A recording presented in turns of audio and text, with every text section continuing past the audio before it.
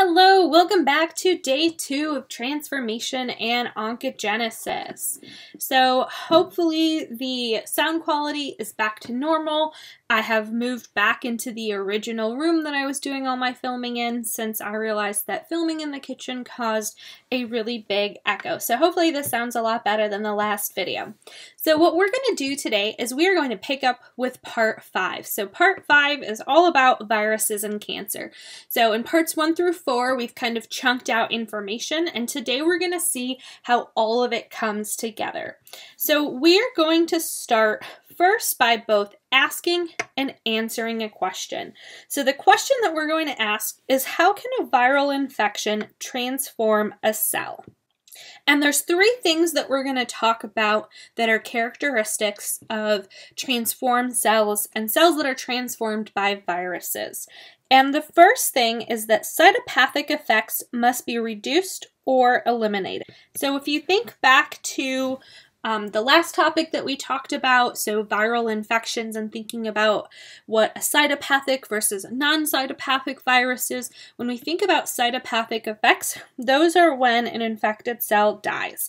And so if we are reducing or eliminating those cytopathic those cytopathic effects, then the infected cell must not die. The second major thing that we have to have is that viral replication must be reduced or eliminated. And so if we have a reduction or elimination of viral replication, this means that when we have transformed cells, they do not produce virions.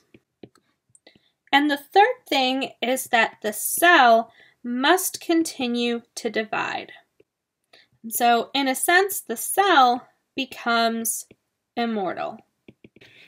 So, if you're looking at these three things this idea of an infected cell not dying, these transformed cells not producing virions, and these cells becoming immortal and continuing to divide, and if HERSs they continue to divide, then that viral genome continues to be copied and divide along with the cell.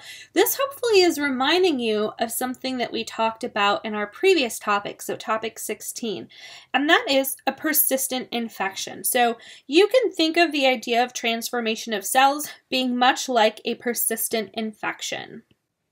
All right, so now that we've got all of the pieces of how a viral infection can transform a cell, let's now start adding into the second part of this topic. So we've kind of thought about how they can transform a cell, going back to this idea of a persistent infection.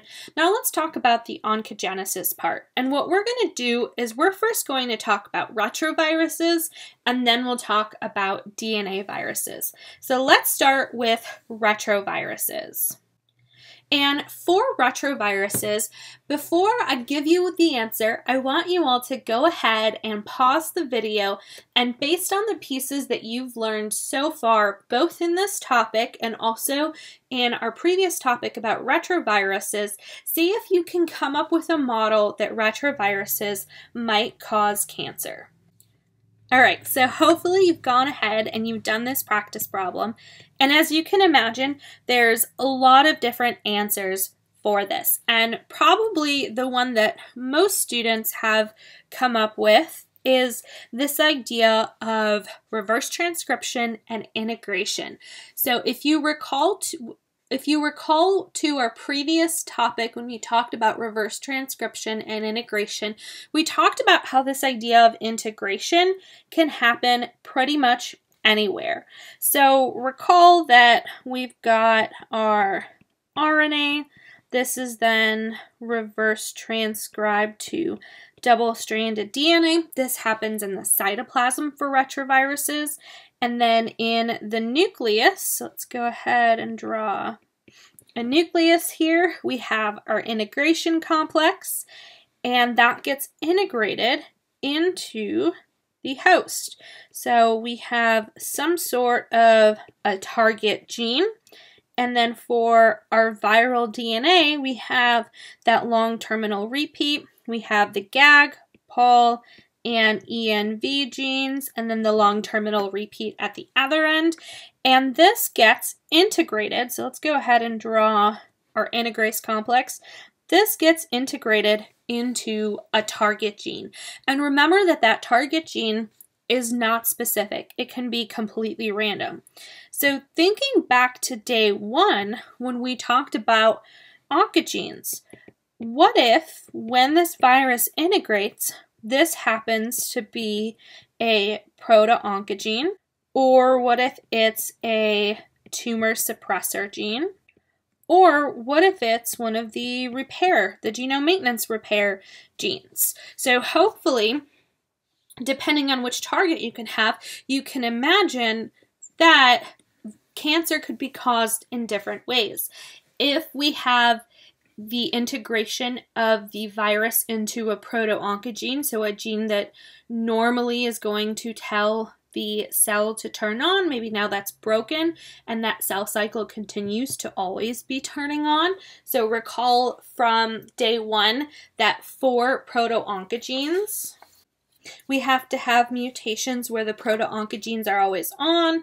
For tumor repressor genes or tumor suppressor genes, we have to have mutations where those genes are off. And for the genome maintenance genes, we have to have mutations where those genes are also off. So again, accidentally, when retroviruses integrate, they may be able to cause cancer. Kind of going off of this question, we can actually also think about, well, how did we discover oncogenes? So again, I'm going to go ahead and encourage you all to pause the video and to see if you can piece this together as well. So hopefully you've gone ahead and you have done that. And the answer to this directly correlates with the previous practice problem. So when we have the host so let's go ahead and have our host target be a different color. And then let's add in our viral genome here. So I'm just going to write up our LTRs. Okay, so if we take a look at what the host genome looks like when we have viral integration, this problem should remind you of a problem that we completed a couple weeks back. At this point, it's probably been months to be honest with you, but when we were talking about reverse transcription and integration, I asked you how do you think that scientists learned how many retroviruses are in our genomes. And it was a very similar problem to this. And so what scientists did was in many models, so let's go ahead, we're going to try to draw this is my version of a mouse. It's not great, but it is what it is. So what scientists did was in animal models that had tumors, they went ahead and they did a biopsy of the tumor and they extracted the DNA and then they sequenced the DNA. And so now, of course, the question is, well, what did they look for? Well, we just drew what they looked for. So what they looked for was they of HRSS were looking for the retroviruses. And we know that retroviruses have very key pieces of their genomes. They have those LTRs, the GAG, the POL, the envelope. And so if you can find the LTRs, you can find the host target and you can figure out what that gene was. And so when scientists learned how to do this, this of course became a molecular gold mine for geneticists, for molecular biologists, particularly those interested in oncology. So the majority of our oncogenes that we discovered, that we learned about, were actually through a process very similar to this. Okay, so this is all if a virus inserts into the wrong place. But what about if it doesn't insert into the wrong place? What if it just inserts into a gene that we have no idea what it does and it doesn't seem like a big deal? So if that happens, hopefully you've got an alarm going off and you're thinking about some of those pathways that we talked about. So we know that viruses encode for different proteins and we've talked about how these proteins can actually mess with the cell cycle. So in our topic about the infected cell, we kind of alluded to this and we alluded to this in day one of this topic as well. So many viruses can encode for proteins that mess with signaling cascades. So things like P53, that retinoblastoma protein, and you might be wondering, okay, well, where the heck is a P53RB that is part of the host coming from? It turns out that because of integrating and then um, being copied to get out of the cell, many viruses can actually accidentally end up with a cellular oncogene. So let's talk about a cellular oncogene that was acquired from the host. So again, we're still talking about retroviruses, and specifically, we're going to talk about RSV again. And the example that we're going to talk about is the SRC gene, which is also known as the SARC gene. So again, this is found in Rous sarcoma virus. And for this gene, I'm going to write gene slash protein. So the protein product does this. Um, there's kind of two versions of it, if you will. There's the C SRC, which is the cell SARC gene. And then there's the V SRC, or the virus SRC gene. And again, all the C and the V mean is that one comes from the host, one is in the virus, although the viral one did originally come from the host. And so what this SRC or the SARC protein does when it is activated, it is going to promote invasion, it's going to promote cell proliferation, and it's going to turn on survival and turn on angiogenesis. Now, as you're looking at some of the things that this SARC protein turns on, you're probably thinking, wait, that sounds a lot like some of those hallmarks of cancer. So, one of the hallmarks of cancer was angiogenesis, continual cell proliferation, invasion dealing with metastasis. So, this SARC protein appears to deal with that as well. And so, when people looked at the RSV genome. And it turns out when Peyton Rous did this, he got pretty lucky because not all retroviruses are actually active and they don't retain everything when they integrate, as we learned when we talked about reverse transcription and integration. But he got pretty lucky that the RSV that he worked with had all the pieces. So it had the GAG, the POL, the ENV, and then it also had this SRC. And this SRC came from the host. So we call this a viral oncogene. So going back to this idea of VSARC or VSRC here. So that's something to keep in mind that this gene, although it is in RSV's genome, originally came from the host.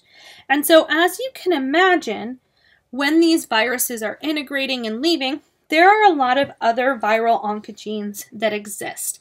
Another really great example is the RAS protein, and we'll deal with the table here in a second. So RAS is a gene that in majority of cancers actually has a mutation and it's something that we spend a lot of time talking about in cell biology. But to put into perspective how RAS works what RAS does is it turns on that retinoblastoma protein. So we know that RB HERS is responsible for the cell cycle advancing and so if you have a retrovirus that is carrying these this oncogene and RAS is now turned on, RAS goes to turn on RB. Even if the cell isn't ready or needs to, that cell is going to advance through the cell cycle and it's going to continue replicating. So in the table here on the right, there are actually a lot of different oncogenes that have been discovered. These are not all of them, but these are just a couple of examples from different retroviruses. So again, I don't expect you to have these memorized or anything like that. The reason that I'm showing you these is to just help you see how all of these pieces come together and hopefully as we're talking about this, it makes sense as to why we talked about the cell cycle first. And so, one thing that I want to leave you with is that these are viral oncogenes, but they originated from the host cell. So, even though the virus has it in its genome, they were originally from the host. All right, so this kind of makes sense for retroviruses, right? They can integrate in their, um, when they leave, they steal some genes, sometimes accidentally. Again, all of this is accidental. This is not with the purpose or part of their normal reproductive life cycle. But what about DNA viruses? How might DNA viruses cause cancer? And again, I encourage you to go ahead and pause the video and see what you can come up with. All right, so hopefully you've paused the video and you've thought about this idea of how DNA viruses can cause cancer. And one of the ways that they can do so is they can encode for proteins that mess with signaling pathways. And there are, of course, other signaling pathways that we didn't talk about in this class, so ones outside of P53 and RFB, but those are some of the, I would say, more common ones and some of the ones that are more easily um, understandable, if you will. So they're still very complicated, but a little less complex perhaps than the other ones. And so DNA viruses are going to encode for proteins that mess with signaling pathways. And I'm going to tell you a couple of common viruses that do this, and that is adenovirus. Um, first, we talked about polyoma viruses, and so that's going to be SV40 is our example that we've been talking about throughout the semester, and then papilloma viruses. So those that cause warts. So in the rabbits that we saw in day one, the warts, let me know in the comments below if anyone actually looked up um, jackalopes and tell me what you found because that's kind of an interesting backstory. But anywho, I digress. So for these DNA viruses for polyomaviruses, adenoviruses, and papillomaviruses. Even though we see cancer associated with these, these are in terms of causing cancer. These are in terms of association with cancer very rare. So what I mean by that is maybe one in a hundred thousand infected cells are transformed. So definitely does not happen all the time. And so, one of the questions that you might be wondering is well, how are viral transforming genes discovered in DNA viruses? It makes sense for RNA viruses, right? For those retroviruses, we have key things we can look for in the genome of viruses. So, how did we learn about it in DNA viruses? And it turns out we used a bunch of classical genetics methods. And so, what we were able to do was to compare and contrast normal and transformed cells and using all of the different omics, so looking at genomics, proteomics, we're able to kind of figure out what is different between cells that are transformed and cells that are not transformed. So, something else to keep in mind with these DNA viruses is that viral DNA can be maintained by either being integrated into the genome, so recombination events can happen or they can persist just as autonomously replicating chromosomes, essentially. Okay, so kind of moving forward, we've said that they can encode, so they, meaning these DNA viruses, can encode for proteins that mess with signaling pathways. But let's get a little bit more specific for how these DNA viruses can actually cause cancer. And so, what we're going to do is we're going to talk about a key finding. Anyone remember T antigens? So, when we talked about particularly SV40 replication, so that's our model virus for double stranded DNA that is circular, we mentioned T antigens. So, you're probably like, okay, why? Like she said, key finding and T antigen. So, clearly, this T this key finding must have something to do with T antigens.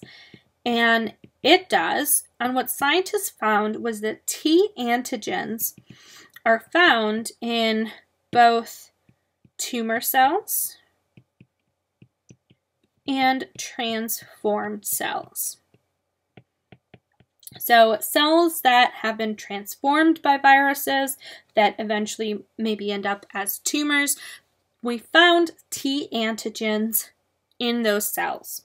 And so, what scientists then did as an experiment, because of course that raised the question of, well, is the T antigen enough to cause transformation in tumors? So, what scientists did was they purified the T antigen and they put it into cell culture. And you can probably hypothesize what they saw. So, what they saw was that the T antigen was enough to cause transformation and to cause tumors. So, let's kind of break that down a little bit in terms of the T antigen importance. So the T antigen importance is, of course, for replication. So you and I have been first introduced to the T antigen when we talked about replication. But it turns out that the T antigen is also important for activating viral transcription. So, the other thing that scientists noticed is that this is one of the only viral genes found when a cell is transformed by a DNA virus. Hopefully, I have convinced you that the T antigen is important. So, not only is it important for replication and activating viral transcription, it is enough for transformation to occur and for um, and for tumors to also be caused. And that kind of makes sense because it's the only viral gene that is found when a cell is transformed by a DNA virus. So you can probably guess this already, but let's go ahead and make sure that we're all on the same page. And let's talk about which viruses have T antigens. So we said that adenoviruses can transform. So adenoviruses can have T antigens, and it turns out that they actually have two T antigens. They have one called E1A and they have another one called E1B. SV40 or the polyoma viruses, they have that large T antigen that we talked about. And that large T antigen is the one that was helping us with replication. So if they are, of her saying that there's a large T antigen, you can probably hypothesize that there's actually also a small T antigen that SV40 has. And we said that papillomaviruses also can cause transformation and are associated with cancer. And papillomaviruses actually have three genes that encode for T antigens. So let's talk about the role that these T antigens have. So how do these T antigens, how are they affecting cell signaling pathways? How are these T antigens when a cell is transformed and we have a T antigen present, how are they able to affect a cell and to cause some of the characteristics that we see in cells with cancer. So let's start with a blank page here. And let's first talk about the RB pathway, and then we'll talk about the P53 pathway. So let's just start with and remind ourselves from day one of what a normal RB pathway looks like. So in a normal RB pathway, here's our RB. Here is a transcription factor. Typically what we have is RB holds transcription factors, which means that transcription is off. And when we need a cell to grow, so maybe we have signals from the environment, so we have cell growth, RB is then phosphorylated.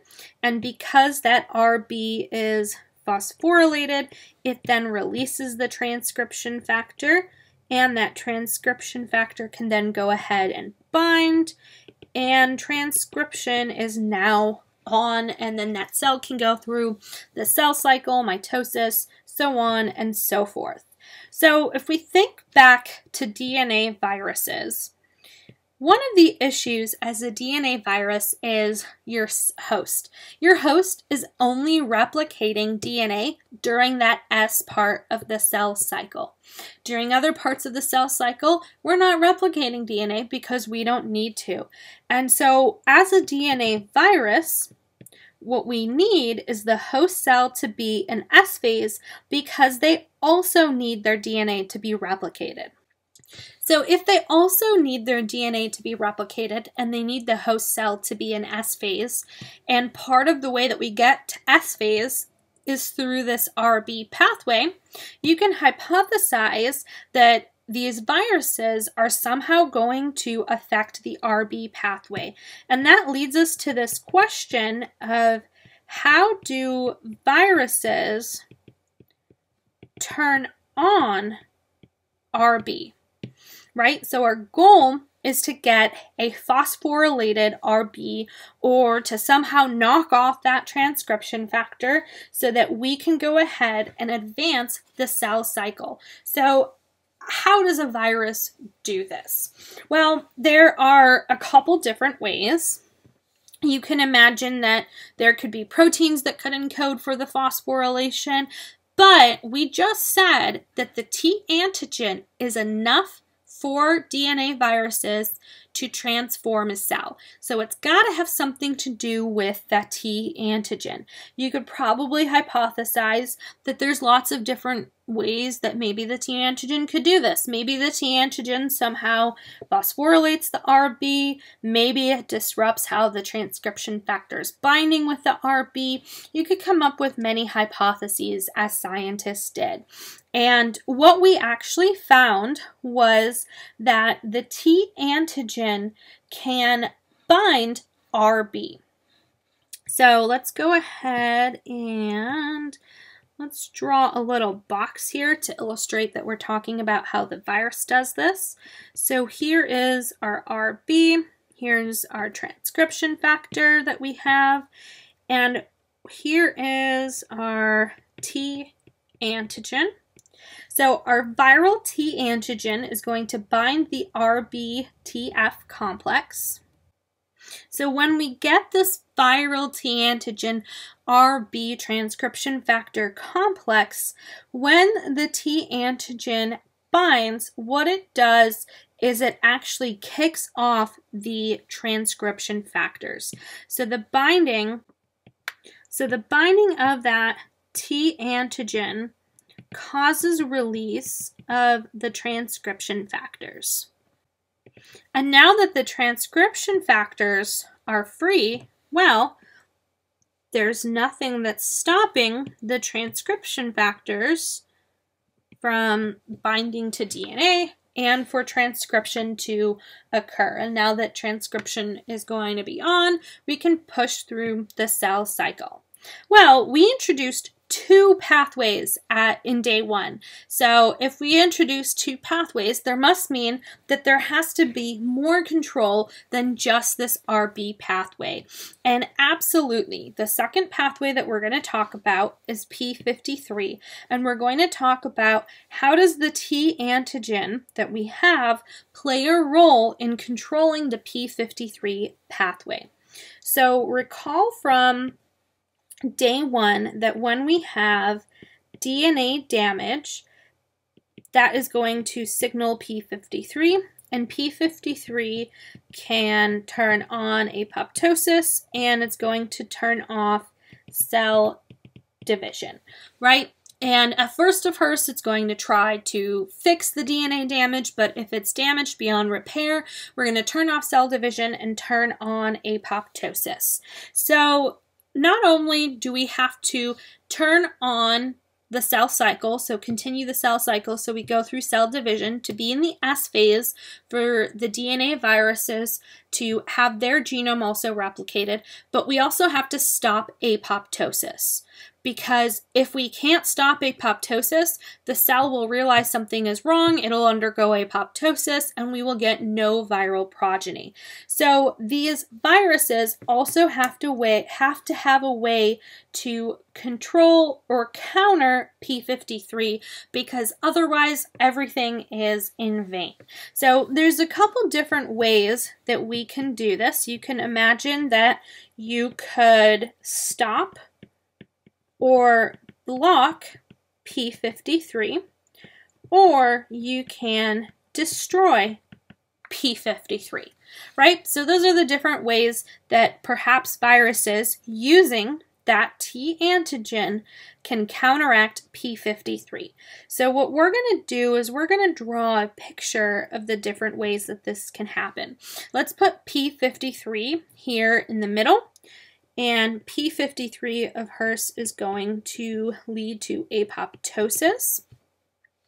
And we're going to talk about the various ways that different T antigens work from different viruses. So the first example that we're going to talk about, so here's our P53. Let's make this bright green. Here is a large T antigen and the large T antigen is from SV40. And what this large T antigen does is it's going to stop or block P53. So if the large T antigen is binding P53, then P53 can't bind the other proteins that it needs to to turn on apoptosis. So boom, problem solved. And when this happens, we of HERS block apoptosis. Now, on the flip side, another example very similar to this is, let's draw another P53 on here, and that is adenovirus E1b. So we'll draw a smaller little T antigen. So recall that adenovirus has two T antigens, and much like the large T antigen of SV40, this works in a very similar fashion. This stops or it blocks P53. The only difference is that adenovirus has two different T antigens, and E1b is involved in this one. And while SV40 also has two antigens, the large T antigen is involved in stopping or blocking P53 activity. So we've covered how the polyomaviruses or SV40 and how the adenoviruses do this. So they do this by doing number one, which is stopping or blocking P53. So let's talk about our third family of viruses and this second example. So destroying P53. So one of the things that can happen, go this way here on this slide, is we can have our P53 and we're going to have a T antigen that binds to that P53, and this can happen for papillomaviruses, so those that cause warts, and adenovirus. So recall that adenovirus has two T antigens. And so when this T antigen binds the P53, what it does is it actually signals to destroy it. So I'm going to go ahead and draw a garbage can here. And so that P53 that has been that has been bound by the T antigen works very similar to almost a ubiquitin tag, which means that that protein will then be destroyed. And so if we destroy P53, this is great because now we have no P53, which means we have no apoptosis. So again, lots of different ways that these T antigens are going to play roles in affecting the cell cycle, and by affecting the cell cycle, we are of course inducing replicative immortality, which is one of the hallmarks of cancer. So let's go ahead and summarize everything that we have talked about between day one and day two, and we're going to kind of put it all into one picture. And I think the thing that is the most amazing when it comes to this topic is that this all began with chickens. So the next time you are enjoying a tasty chicken, think about how it really revolutionized the field of virology and revolutionized everything that we know about cancer. So let's start by drawing our cell cycle again. All right, so we've got our cell cycle. We've drawn kind of a simplified version of this. And we can have a go, and this is going to be controlled by proto-oncogenes. We can also have a stop that is controlled by the tumor suppressor genes. And then let's summarize what was revealed by retroviruses and what was revealed by DNA viruses. All right, so by the retroviruses, what we learned was that these viruses integrate into host DNA, and we discovered a lot of oncogenes. For DNA viruses, what we discovered was that the T antigen is enough for transformation, and we discovered that they can turn on the cell cycle and they can stop apoptosis. All right, so I'm going to stop here. This is a really nice summary of everything that we've talked about in this topic. And now that we have covered this topic, we're going to continue with this fourth unit. And the next thing that we're going to start talking about is antivirals. So, another really cool topic for us to think about. And for antivirals, I'm going to kind of talk about more of the history, more of some of the big picture things, how antivirals work. And then my husband is actually going to do a short little segment, and it's mostly going to be about the application of antivirals. So, more from a clinical standpoint. So, if you all have any specific questions or specific things you want him to talk about, let me know and I'll make sure that he does that. So, thanks again for hanging out with me for another lecture, and I will catch you really soon. Have a wonderful day, everyone.